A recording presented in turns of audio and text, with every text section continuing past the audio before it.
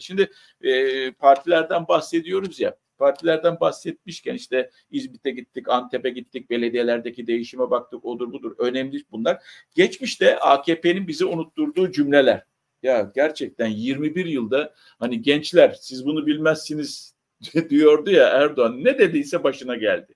Ne e, itiraz ettiyse, ne ya bu olmaz, bu tukaka dediyse hep bunu yaşadı. Neden? Çünkü içleri kötü. Ben öyle olduğunu düşünüyorum. İçleri kötü olduğu için zaten yaradan da onlara istedikleri gibi vermiyor. E tabii bir de e, zaman içerisinde güçlendiler. Güçlendikçe de hedeften uzaklaştılar. E, ne bileyim e, güçlendikçe zehirlendiler. Güç zehirlenmesi dediğimiz olay. Kendilerinin vazgeçilmez olduğunu düşündüler. Biz bozduk, biz yaptık diyen bir anlayış ya. Böyle bir şey var mı? Biz yap, biz bozduk, biz yaparız. Yok ya. Senden başka insan mı yok? Ha bir de ben yaptım oldu diyen bir anlayış vardı ya. Bu kafa vardı yani bu kafanın değişmesi de çok çok önemliydi. İyi de oldu. E, yerinde de oldu diye e, bahsediyorum. Evet ya siz yapın mahkeme sonuçları sonradan gelir diyordu. E, yerel halk eleştirilerine bir cevap gelmiş. Bu da çok enteresan. Hani az önce biz de tartıştık ya. Yerel halk eleştirilerine yanıt geldi. Kimden geldi? E, Türkiye Cumhuriyeti Hazine ve Maliye Bakanlığı'nda Şimşek'e atfed, e, atfedilen akıl dışı söylemler kabul edilemez diyor Hazine. Ya ben de orada ben bunu eleştirilecek bir nokta olarak görmüyorum. Yani birçok insan eleştirilecek nokta olarak görür. Ama bu demek ki enflasyon dilinde kullanılan bir terim olduğu için böyle konuştuğunu e, düşünüyorum ben. E, yine de işte kamuoyu baskısı çok önemli. Artık her bir şeyi enselerinde hissediyorlar dikkat ederseniz. Bakın çünkü bu 31 Mart seçimi o kadar etkili oldu ki buna bile bir gerekçe veya buna neden yaptık, niçin yaptık veya toplum bizi eleştiriyor ama bakın biz ne yapmak istemiştik onu bile açıklama gereği duyuyorlar ki bu kamuoyu baskısını hissetmesi açısından çok önemli bir şey. Çok önemli bir şey.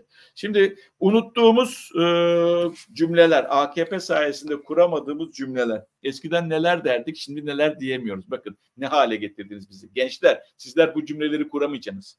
Depoyu fulle hocam. Eskiden böyle derlik ya. Benzinciye gittiğimizde fulle. Tamam veya fulle hocam. Aynen vallahi bak.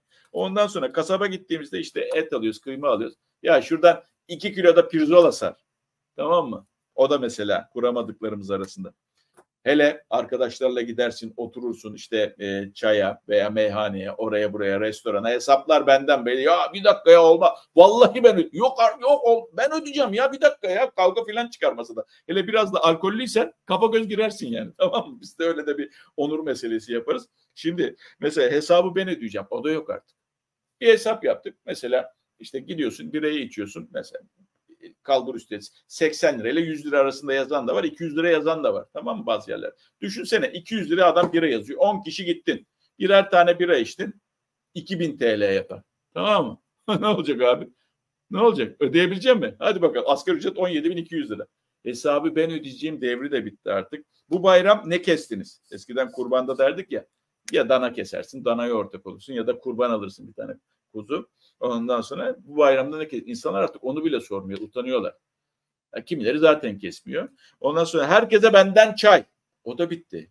Çay dediğin 10 lira 15 lira arkadaş kahvede. Ahmet gülüyor ama çay dediğin gerçekten 10 lira. Çayda 10 kişi ısmarsan 100 lira. Kahve 30 lira. Kahve de kahve 30 lira. Ka Türk kahvesi. Hayır öyle e, bilmem ne demiyorum. Yani kahveye gittiğinde mahalle kahvesine gittiğinde 25-30 lira civarı. O da çok pahalı. Çeyrek kaç para? Bak bu da artık kurulmuyormuş bu cümleler. Ne hale getirdiniz bizi? Ondan sonra inanın bize diyorlar. Biz de enflasyonu düşüreceğiz. Yani Mehmet Şimşek ama çeyrek 4100 lira mı olmuş? Vay vay vay vay vay. 4100 TL olmuş. Ay, ay, ay, çok kötü çok kötü çok kötü. Şimdi geldik. Ee, nerede 30 lira söylese de içelim Fatih Bey demiş. Hayır Ahmetciğim o yazan da Ahmet onun ismi. Ben e, mahalle kahvelerinden bahsediyorum. Mahalle insanların gittiği, emeklerin vesairenin insanların gittiği yerlerden bahsediyorum. Yoksa öyle Starbucks'ta var Starbucks'ta bir Türk kahvesi bundan 6 ay önce içmiştim 95 liraydı. Şimdi kaç para bilmiyorum. Fatih Bey damadım eniştem kayınçom o olayları lütfen CHP'de olmasın. Halk oyu verdi ama gözü üzerlerinde geçen bültende haberinizde izledim. Lütfen bültenlerinizde uyarın saygılar. Tam anlamadım mesajı ama ne demek istiyor Ahmet? Tevfik Göksu adlı bir hayırlı olsun demiş herkese. Yani muhalefeti de mi kontrol edin diyor. muhalefeti de mi e, eleştirel gözle? Tabii tabii. Eğer onu kastediyorsanız öyle. Be, be, benim mantığım o. Ben bakın ne Dolmabahçe, Dolmabahçe diyorum ya. Ne saray gazetecisi olurum. Ne bilmem ne gazetecisi olurum. Ne ne bileyim işte son zamanlar yandaş olurum. Ne candaş. İşte son zamanlarda bir Saraçhane diye bir şeyler çıktı. Saraçhane gazetesi. Hiçbir olmam. Ben kendi yolunda gitmesini seven bir adam. Bu yolda da giderim. Allah'a çok şükür gidiyorum da zaten. Çünkü ben ben kendimin önce mutlu olmasını istiyorum. Ardından toplum mutlu olsun. ben bencil, bencillik dersiz bencillik değil. O yüzden bu mücadeleyi veriyorum zaten. Önce benim mutluluğumsa ha ben mutlu olursam zaten o mücadeleyi verdiğinde insanlarla mutlu olacaktır diye düşünüyorum. Amaç e, tekten genele gidiyoruz işte bu şekilde. Bunun mücadelesini veriyoruz. Yani tek bir mücadele veriyormuş gibi görünüyorum ekranda ama benim gibi işte şu anda da YouTube ekranında, akşam televizyon ekranında ama benim gibi düşünen milyonlar var. Onların sesi oluyorum. Her birinin sesi oluyorum aslında. Onlar ekrandan evet diyor ya ben de bunu demek istiyordum, ben de bunu demek istiyordum diye diye düşünenler var.